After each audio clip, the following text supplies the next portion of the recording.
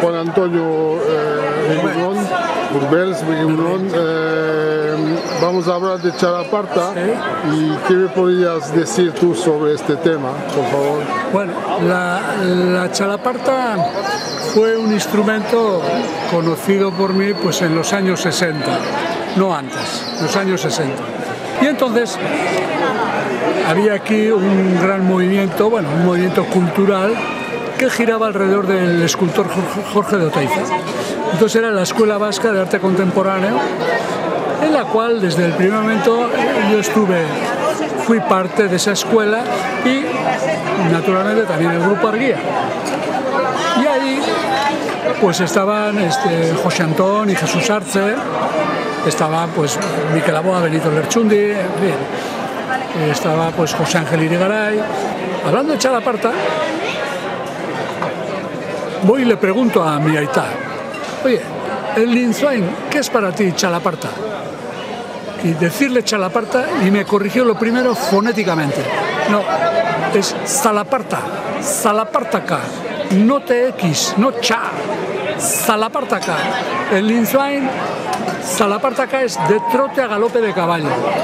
Me quedé claro, estoy oyendo, es, lo que suena ahí. Si es lo que suena en el instrumento. Él no sabía. Le digo, es un instrumento de madera que se golpea con cuatro maquillas y tal, dos a dos. Él no sabía ni lo que era. Antes de ir a San Fermín a llevar las yeguas con tu abuelo, Antonio, subíamos a Sorogain y iban cuatro o cinco chicos, cada uno a buscar las yeguas de casa. Y en las landas de Sorogain subíamos a pelo a la yegua y dábamos una galopada. Poníamos el oído en el cuello y si metía ruido, bajábamos a vender. Si no metía ruido, la yegua, cuidado porque igual estaba preñada, igual tenía la cría dentro. Por eso el tripa no se movía y eso dejábamos en el monte.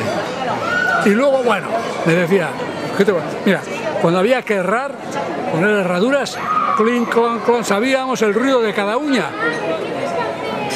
Tenían una cultura del caballo absolutamente maravillosa, los bichos, conocían perfectamente.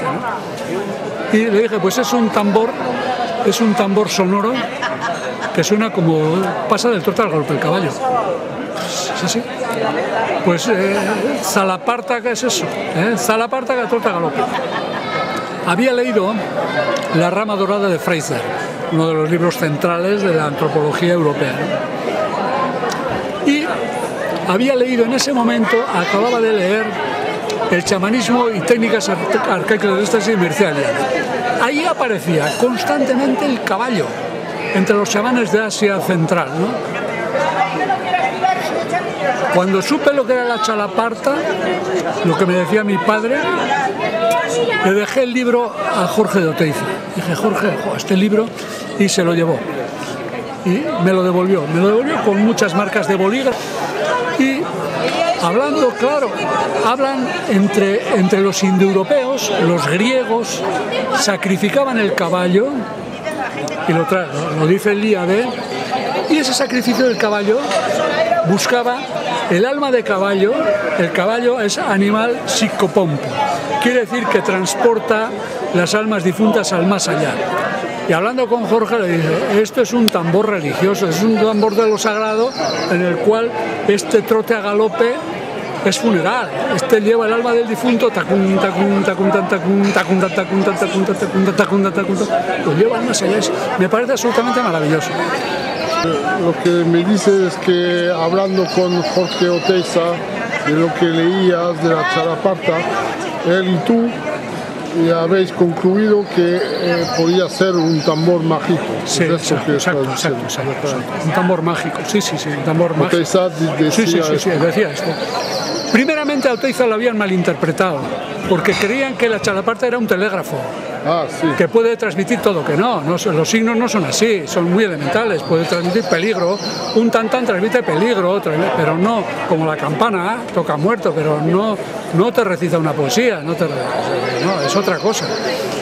Pero a Jorge, por ejemplo, era interesante porque había una coincidencia, Chalaparta, tambor religioso, bueno, el hombre ya estaba entusiasmado, ¿no? Le dejé el libro, Urbet, le dije, ¿sabes lo que he encontrado?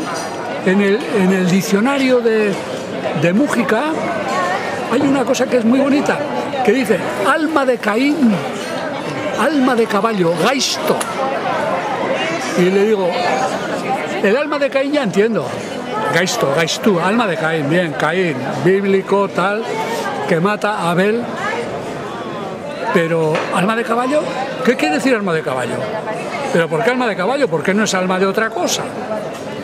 O sea, le dije a Jorge, o sea, es decir, el gaisto, gaisto del caballo, el alma del caballo gaisto, acompaña al alma del difunto al más allá. Gaisto es el alma del caballo. Tú haces sonar la chalaparta y el gaisto vuela. Y claro, le daba a, todo, le daba una dimensión totalmente nueva. Hicimos una reunión en Espiral, la escuela, lo que era la escuela vasca, estaba José Antón Arce, estaba José Ángel Irigaray, estaba Jorge Oteiza, estaban... Y llegué allí, ya sé lo que es la chalaparta, ¿eh? ¿Cómo? Sí, sí, ya sé lo que es. La chalaparta es trote a galope de caballo. José Antón, recuerdo, empezó a decir de todo. Hemos descubierto a nuestro Dios, esto es no sé qué, no sé cuántos y tal. Y allí se quedó.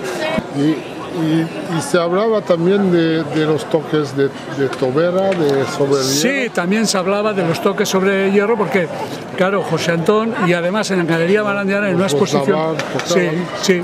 Y este José Antón eh, y Esdoca Mairu en general, pero yo creo que José Antón en particular, ahí en la Galería Barandiarán hubo varias exposiciones. Ahí hicieron exposiciones de toberas que yo vi, aquí en la calle Bengochea, de toberas y chalapartas. Y este Remigio Mendiburu hizo una chalaparta ah, que quedó como logotipo de Sdoca Todos los carteles tenían la chalaparta. Hoy en día se ha un poco perdido, dejado eh, toda esta teoría sobre el tambor, tambor mágico, lo del caballo también. Sí, nada. pasa lo siguiente, y es, yo creo que es por una razón única. Nosotros fuimos a buscar y hallamos lo que pudimos hallar, pero ellos solamente se limitan a recoger lo que reciben y no, no buscan nada, entonces no puedes encontrar nada. Yo creo que es por esto. ¿eh?